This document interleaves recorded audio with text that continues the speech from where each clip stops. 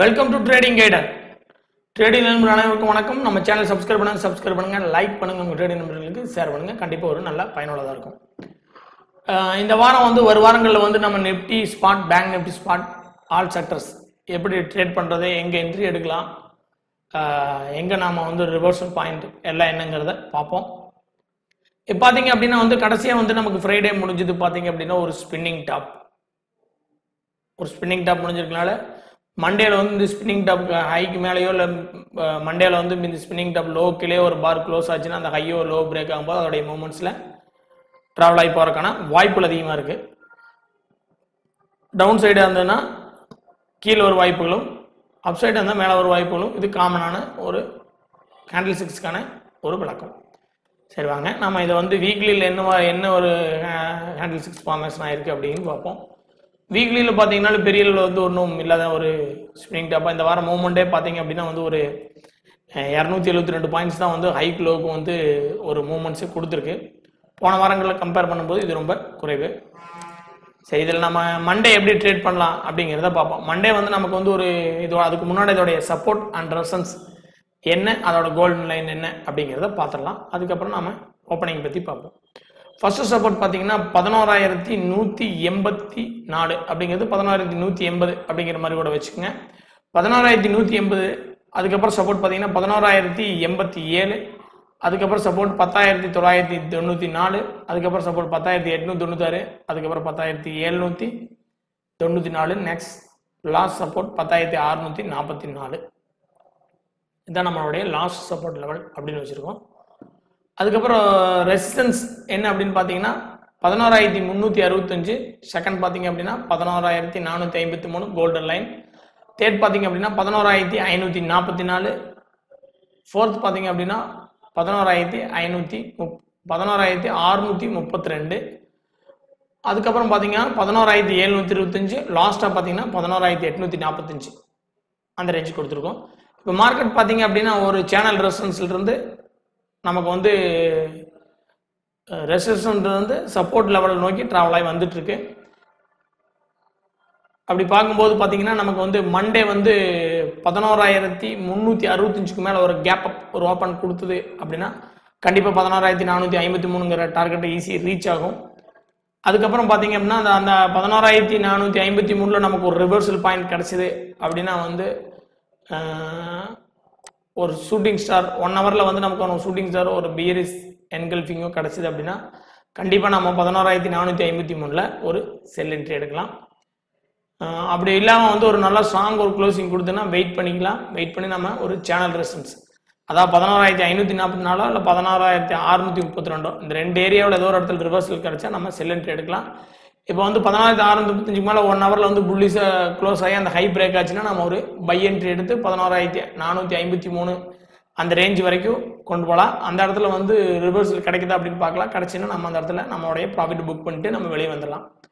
Okay இது வந்து resistance area அப்படிங்கிறனால ரிவர்ஸ்லாம் இருக்கான? வாய்ப்புகள் அதிகமாக இருக்கும். அதனால் அது அதுக்காக நம்ம அந்த வார்த்தையில் சொல்கிறோம் பதினோராயிரத்தி எழுநூற்றி இருபத்தஞ்சு. இந்த ரெண்டு ஏரியும் பார்த்தீங்கன்னா ரொம்ப கிரிட்டிக்கலான ஏரியா இவ்வளோ இவ்வளோ தூரங்கள் மார்க்கெட் வந்து ட்ராவல் பண்ணுமா? அப்படின்னு பார்த்தோம் அப்படின்னா வந்து ஒரு நல்ல ஒரு புள்ளிஸ் மூமெண்ட்ஸ் கொடுத்தது மண்டே அப்படின்னா நம்ம அதுக்கு தகுந்த மாதிரி ஐடியா பண்ணிக்கலாம். நம்ம ஒவ்வொரு நாளும் வந்து அடுத்த நாள் எப்படி ட்ரேடிங் பண்ணுறதுங்கிறத நம்ம சொல்லிட்டு தான் இருக்கோம். அதனால் நமக்கு வந்து மார்க்கெட் பதினோராயிரத்தி முந்நூற்றி அறுபத்தஞ்சுக்கு மேலே ஒரு கேப் அப்போ ஓப்பன் ஓப்பன் கொடுத்து ஒன் ஹவர் க்ளோஸ் ஆகி அது புள்ளிஸ் பாராக இருந்து அந்த பாரோட ஹை பிரேக் ஆச்சுன்னா கண்டிப்பாக பதினாலாயிரத்தி நானூற்றி ஐம்பத்தி மூணுங்கிறது ரீச் ஆகும். அதை அதுக்கு அடுத்ததான் பதினோராயிரத்தி ஐநூற்றி நாற்பத்தி நாலுங்கிற அடுத்தடுத்த ரெசிஸ்டன்ஸ் லெவல் இருக்கு. ஓகே மண்டே வந்து நமக்கு ஒரு புல்லிங் புல்லிஸ் பாரே கொடுத்து க்ளோஸ் ஆயிடுச்சு அப்படின்னா வந்து அதோட அடுத்த நாள் வந்து செவ்வாய்க்கிழமைகள் வந்து அதோட ஹை பிரேக் ஆச்சுன்னா கண்டினியூவாக மார்க்கெட் வந்து ஒரு மூமெண்ட்ஸ் மேலே கொடுக்குறதுக்கான வாய்ப்புகள் இருக்குது அப்படிங்கிறத நம்ம தெரிஞ்சுக்கலாம். அப்படி இல்லாமல் வந்து மார்க்கெட் வந்து பதினோராயிரத்தி எண்பத்தி நாலு இதுக்கு கீழே வந்து ஒரு கேப் டவுன் ஒரு ஓப்பன் கொடுத்தது ஓப்பன் கொடுத்து இல்லைன்னா வந்து மார்க்கெட் வந்து ஒரு பதினோராயிரத்தி இரநூத்தி எழுபது கீழே வந்து ஒரு மார்க்கெட் வந்து ஒரு ஓப்பன் ஆகி ஒரு முப்பது நாற்பது பாயிண்ட்ஸ் வந்து டவுன் ஆகி அது ஒரு ஹவரில் வந்து பீரேஸ் பாரம் ஃபார்ம் ஆகி அதோட லோ பிரேக் ஆச்சு அப்படின்னா கண்டிப்பாக வந்து பதினோராயிரத்தி நூற்றி எண்பதுக்கு ரீச் ஆக வாய்ப்பு. பதினோராயிரத்தி நூற்றி எண்பது கீழே வந்து ஒரு ஒன் ஹவரில் நமக்கு ட்ரேட் ஆகி ஒரு பீரேஸ் பாரில் ஒரு க்ளோசிங் கொடுத்தது அப்படின்னா அதோட லோ பிரேக் ஆகும்போது கண்டிப்பாக அது பதினோராயிரத்தி எண்பத்தி ஏழு அப்படிங்கிற ஏரியாவுக்கு ஈஸி ரீச் ஆகும். அதுக்கப்புறம் பார்த்தீங்கன்னா அது அதே வந்து ஒரு ஸ்ட்ராங் க்ளோசிங் கொடுத்தது அப்படின்னா பதினோராயிரத்தி பத்தாயிரத்தி தொள்ளாயிரத்தி தொண்ணூற்றி நாலுங்கிற இந்த ஏரியாவும் ஈஸி ரீச் ஆகிறதுக்கு வாய்ப்பு இருக்குது அதுக்கப்புறம் பார்த்தீங்கன்னா பத்தாயிரத்தி எட்நூற்றி எண்பத் தொண்ணூற்றி ஆறு. இந்த ரெண்டு ஏரியாவும் நம்ம பைக்கான ஏரியாவாக ஐடியா பண்ணலாம். இந்த ரெண்டு ஏரியாவும் வந்து நம்ம பிரேக்கிங் கொடுத்தது அப்படின்னா நம்ம செல்லுக்கான ஐடியாவாக யூஸ் பண்ணிக்கலாம். அதான் பத்தாய பதினோராயிரத்தி நூற்றி எண்பத்தி நாலு கீழே செல் அந்த ஒரு மார்க்கெட் வந்து ஒன் ஹவரில் க்ளோஸ் ஆனாலும் நம்ம செல் அப்படிங்கிற ஐடியாவில் பதினோராயிரத்தி எண்பத்தி ஏழு வரைக்கும் பதினோராயிரத்தி எண்பத்தி ஏழையும் பிரேக் ஆகி ஒரு க்ளோசிங் கொடுத்தது அப்படின்னா கண்டிப்பாக பத்தாயிரத்தி தொள்ளாயிரத்தி தொண்ணூற்றி நாலு ரீச் ஆகிறதுக்கான வாய்ப்புகள் அதிகம். அப்படி வரும்போது அந்த இடத்துல ஒரு செல்லிங் எடுக்கலாம். நம்ம வந்து பத்தாயிரத்தி எட்நூத்தி தொண்ணூத்தாறுலேருந்து பத்தாயிரத்தி ஏழு தொண்ணூற்றி நாலு இந்த நூறு பாயிண்ட்ஸ்க்குள்ள வந்து ஒரு ரிவர்ஸில் இந்த இந்த ரெண்டு இடத்துல நியர் பை எங்கே ரிவர்ஸில் ஆனால் நம்ம பை எடுக்கிறதுக்கான ஒரு கான்செப்ட்டுக்கு வருவோம். அப்படிங்கிறத நம்ம இங்கே பார்த்துக்கிறோம். எங்கே ஓப்பன் ஆனால் என்ன பண்ணணும் அப்படிங்கிறத நம்ம தெளிவாக சொல்லிக்கிறோம் மார்க்கெட் வந்து பதினாறாயிரத்தி நூற்றி முந்நூற்றி அறுபத்தஞ்சுக்கு மேலே ஓப்பன் ஆனால் என்ன அப்படிங்கிறத சொல்லிட்டோம். மார்க்கெட் வந்து நடுநிலையாக வந்து ஒரு பத்தாயிரத்தி பதினோராயிரத்தி இரநூத்தி ஐம்பது பதினோராயிரத்தி இரநூத்தி ஐம்பது நியூட்ரலாக வந்து மார்க்கெட் ஓப்பன் ஆச்சு அப்படின்னா வெயிட் பண்ணுங்கள் மார்க்கெட்டில் வந்து ஒரு பதினோராயிரத்தி முந்நூற்றி அறுபத்தஞ்சு பதினோராயிரத்தி நூற்றி எண்பத்தி நாலு இந்த ரெண்டு ஏரியாவுக்குள்ளே வந்து ட்ரேட் ஆகிற வரைக்கும் நம்ம ரிவர்சல் பாயிண்ட்ஸ் வந்து கெஸ் பண்ணுறது ரொம்ப கஷ்டமான ஒன்றா இருக்கும். அதனால் பொறுமையாக ட்ரேட் பண்ணுங்கள் திங்கக்கிழமை மண்டே வந்து மா வீக்கு வீக்லியோட ஃபஸ்ட் டே ட்ரேடிங் டே அதனால் கொஞ்சம் ஒரு ட்ரெண்டு ஃபார்மேஷனாக இருக்கா கொஞ்சம் சின்னதாக ஒரு மூமெண்ட்ஸ் ஹோல்டர் டே ஒன் ஹவர் இருக்கும். ஒன் ஹவர் வெயிட் பண்ணி ட்ரேட் பண்ணுங்கள் மார்க்கெட்டோடைய திசைகள் நீங்கள் ஈஸியாக புரிஞ்சுக்கலாம். புரிஞ்சு நீங்கள் ஈஸியாக ப்ராஃபிட்டபுளாக ட்ரேட் பண்ண முடியும். இப்போ இது நான் சொன்னது புரிஞ்சிருக்குன்னு நினைக்கிறேன். மண்டேவோட ஓப்பனிங் வச்சு தான் அதான் முடிச்சிருக்கோம். அடுத்தடுத்த நாள் ட்ரெட் பண்ணுறதுக்கு நம்ம அடுத்தடுத்த வீடியோஸ் வந்து கொடுத்துட்டு இருக்கிறதுனால இந்த லெவலில் இது வந்து உங்களுடைய சார்ட்டில் வந்து ட்ரா பண்ணி வச்சுக்கோங்க. இல்லைன்னா ஒரு ஸ்னாப்ஷாட்ஸ் மொபைலில் பார்த்தீங்கன்னா எடுத்து வைங்க. இல்லைன்னா ஒரு நோட்டில் வந்து குறித்து வச்சுங்க அப்போ தான் மார்க்கெட்டில் வந்து ஒரு ப்ரைஸ் சப்போர்ட்டில் இருக்குதா ரெசன்ஸில் இருக்குதா எங்கே இருக்குன்னு உங்களுக்கு தெரியும். எந்த இடத்துல ரிவர்சல் பாயிண்ட் இருக்குது அந்த இடத்துல இருந்து ஒரு ரிவர்சல் ஹேமர் கொடுத்து ரிவர்சல் ஆச்சுன்னா கண்டிப்பாக நம்ம ஒரு என்ட்ரி எடுத்து ப்ராஃபிட் பண்ணலாம் அப்படிங்கிற கான்செப்ட் உங்களுக்குள்ளே கிரியேட் ஆகும். கிரியேட் ஆனால் தான் நீங்கள் ரெகுலராக ஒரு ஒரு பெஸ்ட் ட்ரேடராக வந்து உங்களால் வர முடியும். ஓகே நம்ம வந்து நிப்டி ஸ்பாட் என்ன அப்படிங்கிறத பார்த்துட்டோம். அதோடைய சப்போர்ட் ரெசன்ஸ் எப்படி ஒரு மூமெண்ட்ஸ் ஆச்சு அப்படின்னா என்ன மாதிரி ட்ரேட் பண்ணணும் அப்படிங்கிறத நாம் சொல்லிட்டோம். அதுக்கப்புறம் பார்த்தீங்கன்னா வந்து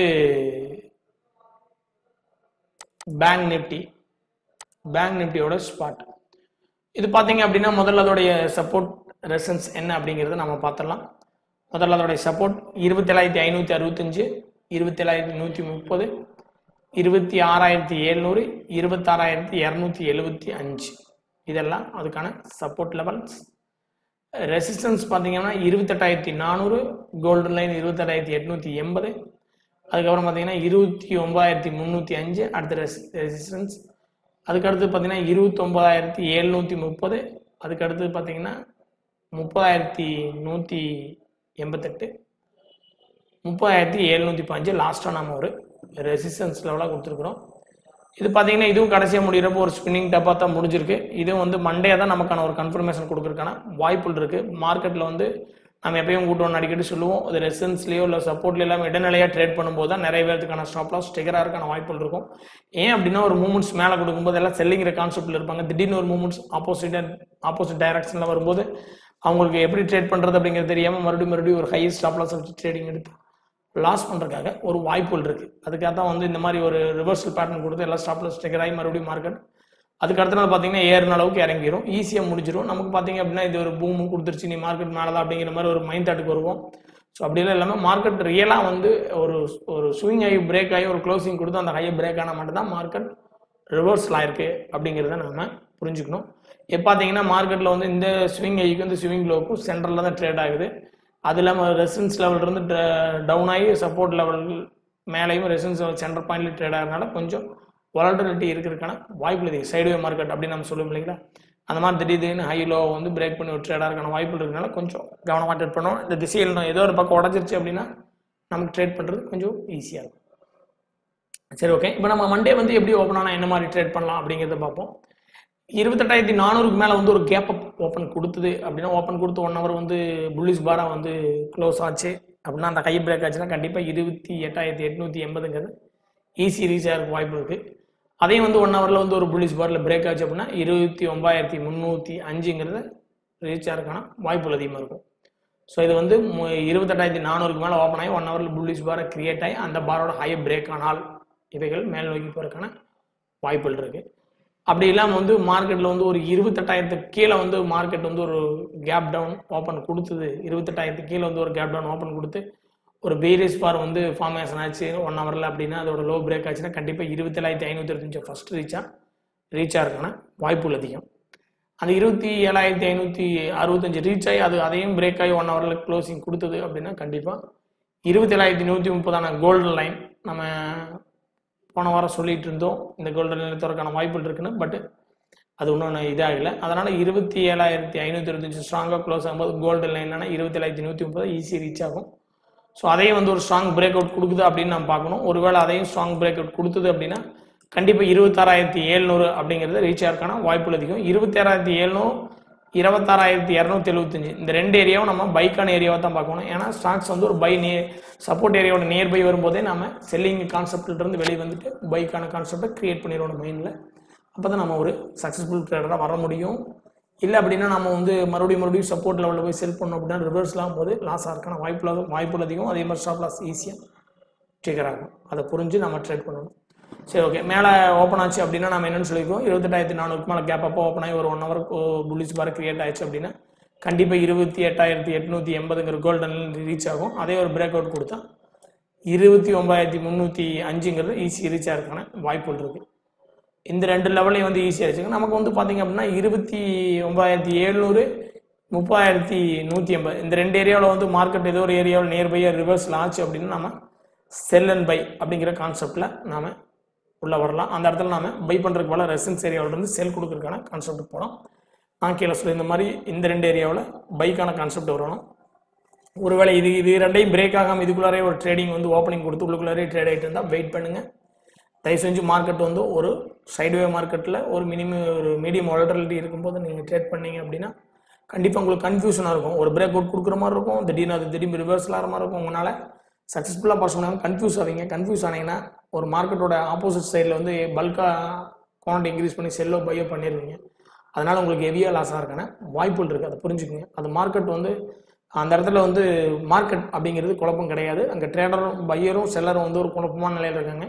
பையர் வந்து முயற்சி பண்ணுறாங்க மார்க்கெட்டை மேலே கொண்டு போகிறதுக்காக செல்லர் மீண்டும் கீழே கொண்டு போகிறக்கான செல்லிங் ப்ரெஷர் அந்த இடத்துல க்ரியேட் பண்ணுறாங்க இந்த இரண்டு பேருக்கும் இடையில நடக்கிற ஒரு செல்லிங் ட்ரேடிங் ப்ரெஷரில் வந்து நீங்கள் போய் இடையில வந்து என்ன நடக்குது அப்படிங்கிறது கூட தெரியாமல் சிட் ஒரு என்ட்ரி கொடுத்தீங்க அப்படின்னா கண்டிப்பாக லாசஸ் ஆகிறதுக்கான வாய்ப்புகள் அதிகமாக இருக்குது அதை புரிஞ்சுக்கணும். அதனால தான் வெயிட் பண்ணுங்கள் ஏதோ ஒரு பக்கம் எனி டைம் ஏதோ ஒரு பக்கம் பிரேக் அவுட் ஆகி தந்துடுவோம் அப்படியே அங்கேயே முடிஞ்சு போகிறக்கான வாய்ப்புகள் இல்லை. அப்போ வெயிட் பண்ணுங்கள் நம்ம என்ன நினச்சிக்கிறோம்னா நம்ம முதல்ல வந்து ஒரு பை எடுத்துட்டோம் ஒரு செல் எடுத்துட்டோம் அப்படின்னா வந்து நமக்கு ஒரு நல்ல ப்ராஃபிட் கிடைக்கும் அப்படிங்கிற கான்செப்ட் உங்களுக்கு இருக்கலாம். பட் ஆனால் அது வந்து உங்களுக்கு சேஃபாக அப்படின்னு உங்களுக்கு தெரியணும். அப்படி ஒரு பையன் நீங்கள் சப்போர்ட்லேயே ஒரு ரெசன்ஸில் செல்லோ எடுத்திருந்தீங்கன்னா ஓகே பெட்டர் அப்படி இல்லாமல் போது அப்படி இல்லாமல் வந்து நடுநிலையை நீங்கள் எடுத்தீங்கன்னா நீங்கள் எங்கே எடுத்திருந்தீங்கன்னா உங்களுக்கு ஸ்டாப் லாஸ் டிக்கர் ஆகிறதுக்கான வாய்ப்புகள் அதிகமாக இருக்கும். உங்கள் ஸ்டாப் லாஸ் வந்து டிக்கர் ஆகிட்டு அதுக்கப்புறம் மார்க்கெட் அங்கேருந்து கீழே வரக்கான வாய்ப்புகள் இருக்கும். ஓகே இப்போ நம்ம நிஃப்டி பேங்க் நிஃப்டி ஸ்பாட் என்ன அதுக்கான சப்போர்ட் ரெசன்ஸ் என்ன அப்படின்னு பார்த்துட்டோம் நம்ம மறுபடியும் முதல்ல சொன்ன மாதிரி தான் உங்களுடைய சாட்டில் வந்து ட்ரா பண்ணி வச்சுக்கோங்க. இல்லைன்னா உங்களுடைய மொபைல் இருந்ததுன்னா ஸ்னாப்ஷாட் எடுத்துக்கலாம் நோட் இருந்ததுன்னா அதில் பாயிண்ட்ஸில் வந்து குறித்து வச்சுக்கோங்க. அப்போ தான் ப்ரைஸ் எங்கே இருக்குதுன்னு நீங்கள் தெரிஞ்சுக்கும் போது அது சப்போர்ட்டில் இருக்க ரெசன்ஸ் இருக்கான்னு தெரிஞ்சால் தான் அதுக்கு தகுந்த மாதிரி என்ட்ரி எடுத்து ட்ரேட் பண்ணீங்க அப்படின்னா தான் எப்பயுமே நீங்கள் ஒரு சக்ஸஸ்ஃபுல் தான் வர முடியும். மொத்தமாக மார்க்கெட் வந்து ஒரு வியாபார முறையில் வந்து எங்கே நடக்குது என்ன நடக்குன்னு தெரியாமல் அப்படிங்கிற ட்ரேடிங் முறையை பின்பற்றாதீங்க. கண்டிப்பாக அது. நிறைய பேர் ட்ரேடருக்கான அப்படி ட்ரேடிங் பண்ணுறதுனால தான் லாஸஸ் நிறைய வர்றது. புரிஞ்சுக்கணும். அதுக்கப்புறம் பார்த்தீங்கன்னா நம்ம ஆல் செக்டர் செக்டர் வைஸாக நம்ம வந்து எப்படி இருக்குது அப்படிங்கிறத பார்ப்போம். ஃபஸ்ட்டு வந்து எஃப்எம்சிஜி எஃப்எம்சிஜி பார்த்தீங்க அப்படின்னா வந்து ஒரு வீக்லியாக நம்ம பார்க்கணும் அப்படின்னா வந்து ஒரு ஷூட்டிங் ஸ்டார் அதுக்கான கன்ஃபர்மேஷன் அதுக்கான செல்லிங் அப்படிங்கிறது செல்லிங் ஆயிடுச்சு.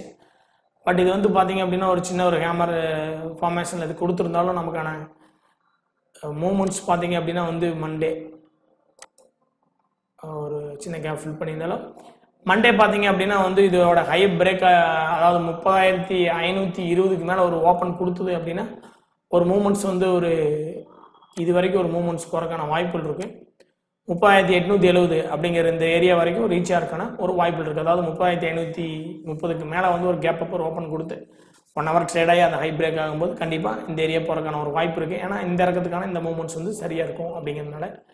பட் அப்படி அப்படி இல்லாத பட்சத்தில் வந்து மார்க்கெட் வந்து ஒரு கேப் டவுன் ஓப்பன் கொடுத்தது அப்படின்னா கண்டிப்பாக நம்ம சொல்லி இந்த மாதிரி இருபத்தொம்பாயிரத்தி அறுநூற்றி எழுபது இல்லைன்னா இருபத்தொம்பாயிரத்தி இரநூத்தி அறுபத்தி மூணுங்கிற இந்த ஏரியாவத்தோட வந்துடும் ஏன்னா ஒரு ரெசன் சே ரெசன்ஸ்லேருந்து சப்போர்ட் நோக்கி ட்ராவல் ஆகி வந்துட்டு இருக்கனால இது வர்றக்கு வாய்ப்பு இருக்குது ஒருவேளை இந்த கேப்பில் வந்து ஹைக் மேல் ட்ரேட் ஆச்சுன்னா கண்டிப்பாக இந்த ஏரியா வரைக்கும் ஈஸியாக போகிறக்கான வாய்ப்புகள் இருக்குது அதனால் இது எப்படி ஓப்பன் ஆகுது எந்த மாதிரி ட்ரேட் ஆகுது ஒன் ஹவர்லன்னு பார்த்துட்டு அதுக்கு வந்து அதோட திசையில் ட்ரேட் பண்ணுங்கள் ட்ரெண்டோட போக்கில் நீங்கள் ட்ரேட் பண்ணும்போது ஈஸியாக ப்ராஃபிட் பண்ண முடியும். ட்ரெண்டுக்கு அகைனாக ட்ரேட் பண்ணிங்க அப்படின்னா கண்டிப்பாக உங்களால் பெரிய ப்ராஃபிட் பண்ண முடியாது.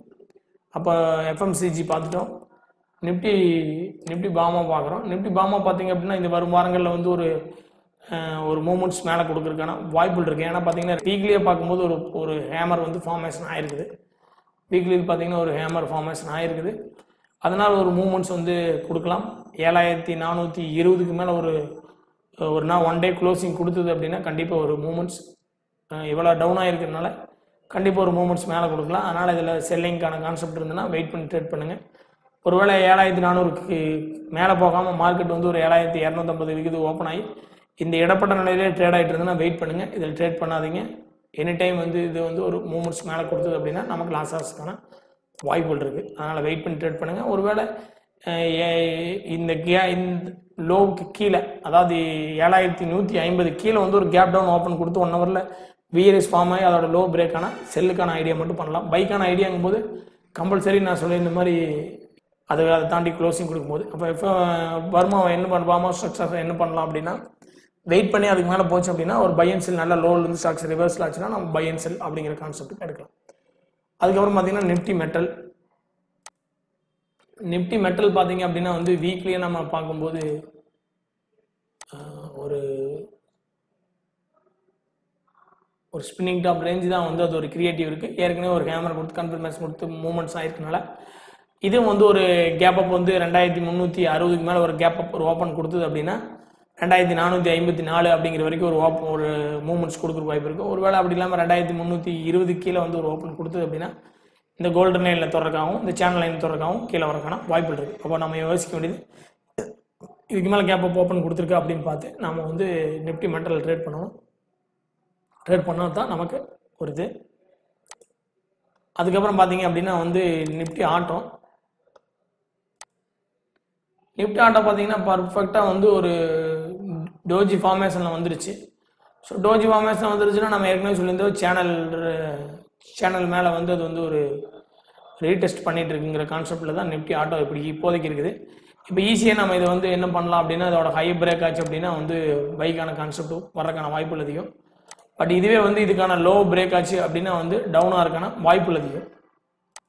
அப்படி பார்க்கும்போது ஏழாயிரத்தி நானூற்றி தொண்ணூறுக்கு மேலே ட்ரேட் ஆச்சு அப்படின்னா மறுபடியும் இந்த கோல்டன் லைனை தொடர்றதுக்கான வாய்ப்புகள் ஈஸியாக நடக்கும். குயிக்காக நடக்கிறதுக்கான வாய்ப்புகள் இருக்குது இது நடந்து விடும்போது அதுவே வந்து ஒரு இருபத்தி இந்த ஏழாயிரத்தி இரநூத்தி தொண்ணூறு கீழே வந்து ட்ரேட் ஆகும்போது கோல்டன் லைனும் அதுக்கு கீழே வந்து லைனை தொடர்க்கான வாய்ப்புகள் அதிகம். வர வாரங்களில் வந்து ஸ்டாக்ஸ்க்கான ரிசல்ட்ஸ் வந்துட்டு இருக்கிறதுனால நமக்கு பெரிய அளவில் பார்த்தீங்கன்னா ஒவ்வொரு ஸ்டாக்ஸ் வந்து ப்ராஃபிட்டபுளாக வந்தது லாஸ் வந்ததுன்னா அதுக்கான மூமெண்ட்ஸ் இருக்கும். அதனால் நிஃப்டி அதுக்கான மூமெண்ட்ஸை கொடுக்கும். அதனால் கவனமாக நம்ம ட்ரேட் பண்ணணும். ஸ்டாக்ஸ் நீங்கள் ட்ரேட் பண்ணுறதுக்கு முன்னாடி உங்கள் ஸ்டாக்ஸ்க்கான ரிசல்ட்டுக்கு இது வருதா? டேட்டில் வருதா? அப்படின்னு பார்த்து ட்ரேட் பண்ணுங்கள் அப்போ தான் உங்களுக்கு புரியும். இப்போ நிஃப்டி ஆட்டோ வந்து டோஜி ஃபார்மேஸ் வந்ததுனால ஹை பிரேக் ஆனால ஒரு கான்செப்ட்டுக்கு நம்ம பையோ லோ பிரேக் ஆன ஒரு கான்செப்ட் செல்லுங்கிற கான்செப்ட் நம்ம ட்ரேட் பண்ணலாம் அப்படின்னு சொல்லியிருந்தோம். அதை வந்து நீங்கள் உங்களோட இதில் மார்க் பண்ணி வச்சுக்கோங்க. அதுக்கப்புறம் பார்த்தீங்க அப்படின்னா வந்து நிஃப்டி ஐடி வந்து பார்க்கும்போது பார்த்தீங்க அப்படின்னா வந்து நாம் சொல்லியிருந்த இந்த ரேஞ்ச் வரைக்கும் ரீச் ஆகிற வாய்ப்பு இருக்குன்னு பட் அது வரைக்கும் வந்துட்டு வீக்லியில் பார்க்கும்போது ஒரு டவுன் கொடுத்து ஒரு அப் கொடுத்துச்சு ஒரு கேப் டவுனில் ஓப்பன் கொடுத்து நல்லா ஒரு கேப் டவுனில் ஓப்பன் கொடுத்து அப்படியே வந்து ஒரு அப் கொடுத்துருச்சு. ஸோ இப்போ வந்து பார்த்தீங்க அப்படின்னா இந்த இந்த பாருக்கு வந்து ஒரு ஹெராமிக் வந்து ஒரு புல்லிஸ் என்கல்ஃபிங் அப்படிங்கிற மாதிரி ஒரு ஃபார்மேஷன் வந்து இது கிரியேட் ஆயிடுச்சு அதனால் நம்ம இதில் வெயிட் பண்ணணும்.